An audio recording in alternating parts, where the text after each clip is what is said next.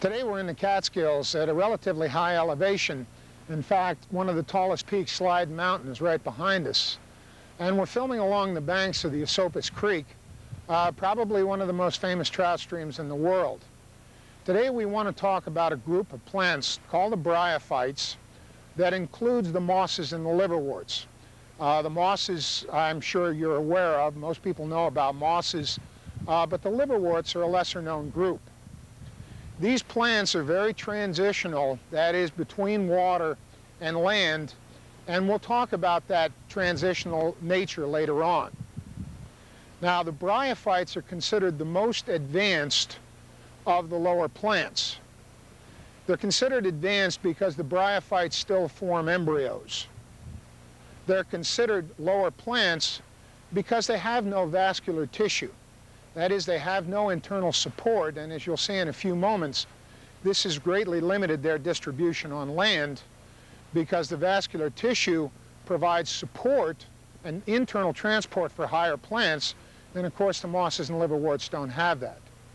Another major limitation is that the bryophytes do not have pollen, that is, the sperm still has to swim from the male plants to the female plants. Now, We'll talk about the mosses first since they're the best known. And remember that when we're talking about the mosses, we're talking about plants that live in very confined habitat. Uh, because they require a lot of moisture for reproduction, for sexual reproduction, uh, you'll usually find them in darker areas in the forest.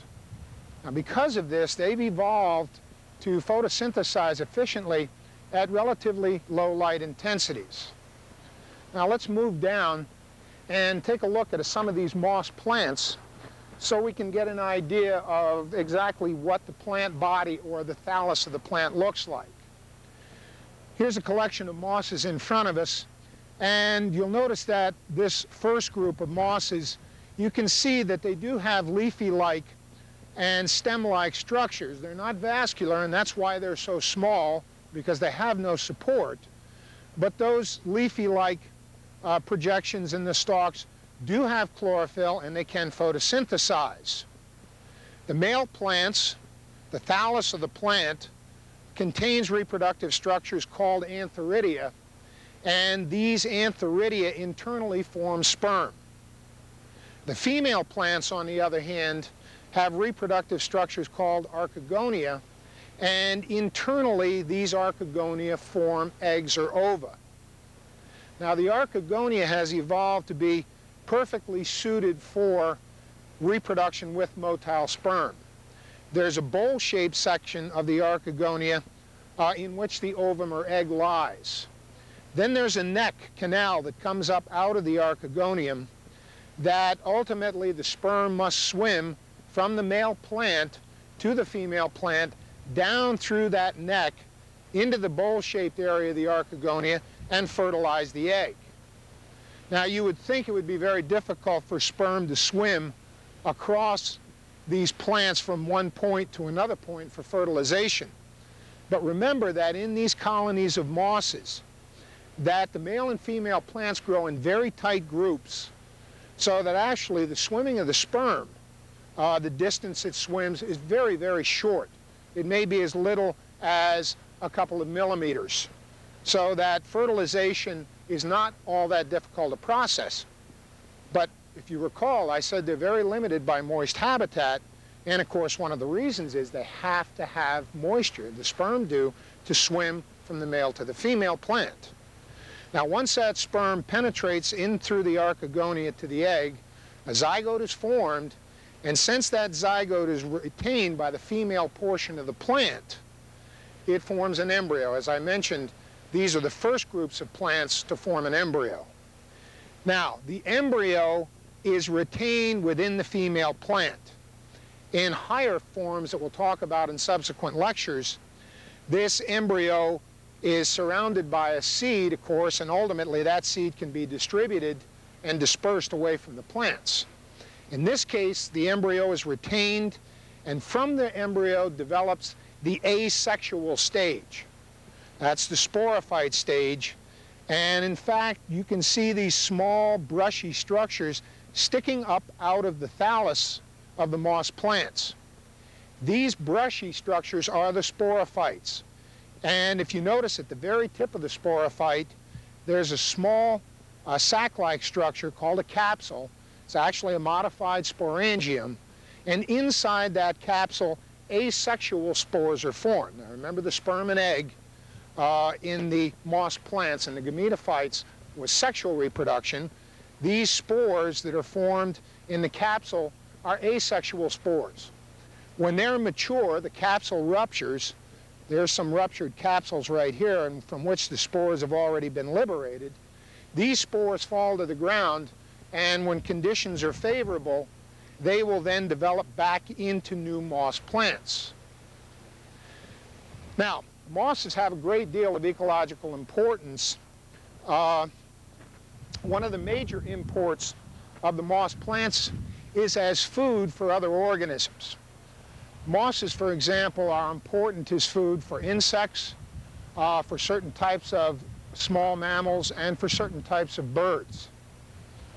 Mosses are also very important as a food source for other types of organisms as well. Mosses are part of succession, primary succession on land, a little bit of what we talked about when we discussed the lichens. Mosses are the next stage in primary succession in a terrestrial habitat. And along with the lichens, they help prepare the ground uh, for other stages in succession. Not only do they initiate soil production along with the lichens, but as these mosses die and decompose, they also provide organic matter. And since they grow in very tight clumps, they tend to retain this soil and organic matter. That is, they tend to uh, prevent erosion of that soil. Now, following the moss stage, depending on how much light is available to that habitat, uh, you might see grasses start to develop now that there's soil and organic matter available. You may see ferns, if it's a shadier area, start to develop, and ultimately into the shrub and tree and grass stage. Probably the greatest importance, however, of the mosses is associated with one genus called sphagnum.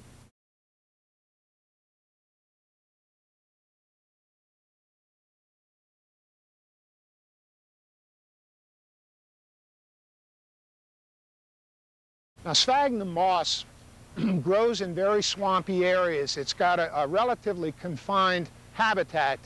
But what's unusual about it is that sphagnum grows in layers. Sphagnum, as part of its growth pattern, deposits acid in the environment. This acid tends to slow down the action of bacteria so the decomposition uh, comes almost to a complete halt. As this sphagnum grows layer on top of layer, not only is this, the lower levels acidic, but also oxygen is cut off. That is, they tend to become anaerobic. Well, the combination of anaerobiosis and acidity pretty much guarantees that those lower layers do not decompose. Eventually, they form what are known as peat bogs. Now, some of these peat layers and bogs, and by the way, they're found in vast areas of the world, in the British Isles, in Canada, in parts of Asia, some of these bogs can be meters deep. Now, bogs can be actually used uh, as a source of fuel. They dig up the peat, dry it, and burn it, and of course it's a cheap source. Unfortunately, the acid that these plants produce is sulfuric acid, so that the uh, byproduct of burning this peat is sulfur dioxide, which of course is one of the problems we have with acid precipitation worldwide.